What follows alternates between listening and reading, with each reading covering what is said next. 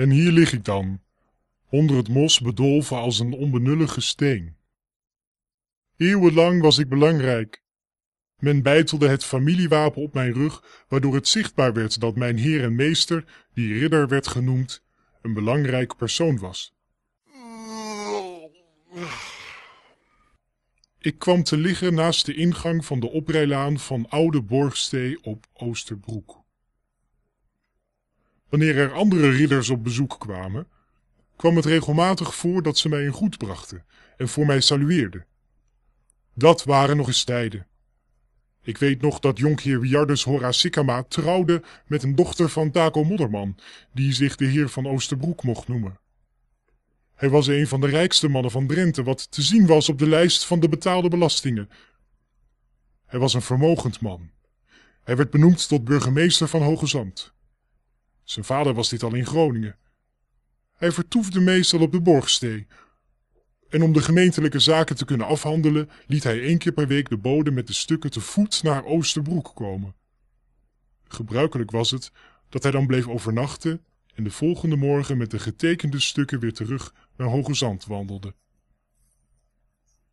De Borgstee, die in 1400 werd gebouwd en vele stormen heeft doorstaan, werd in 1830 afgebroken. In die tijd was ik nog in Tel en verhuisde mee naar het nieuwe huis op een drogere plek. Er kwam weer een ridderzaal en in het souterrain een fornuis van zeven meter lang.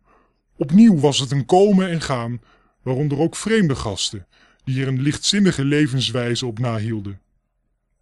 Het wildgebraad dat in de verre omtrek bekend stond, nodigde uit tot vorstelijke maaltijden. De kinderen die meekwamen speelden meestal rond de vijver of verstopten zich in het koetshuis. Ook plasten de jongens wel eens over mij heen. Jammerlijk is er een jongetje van vijf jaar verdronken tijdens een van de braspartijen toen hij de eendjes een korstje brood wilde voeren. Het heeft diepe indruk op mij gemaakt. Het is dan ook niet verwonderlijk dat door de omstandigheden en het buitensporig uitgeven van geld het vermogen opraakte en men noodgedwongen de bezittingen moest verkopen. Met dit moment was het ook gedaan met de adel op Oosterbroek. De havenzaten kwam in handen van bakker Schierbeek uit Paterswolde. Daarna werd de heer Timmerman burgemeester van Eelde de landheer. Uiteraard werd hij wel op het gemeentehuis verwacht om zijn taken uit te voeren. Ook deze familie kreeg een grote tegenslag te verwerken toen het huis met inboedel en al in de nacht van 9 op 10 maart 1922 tot de grond toe afbrandde. Tijdens de herbouw bleef ik, ondanks enige beschadigingen door de hitte, op dezelfde plek liggen. Daarna werd het opnieuw een komen en gaan van bewoners die weinig of geen belangstelling meer voor mij hadden. Het werd onder andere een jeugdherberg.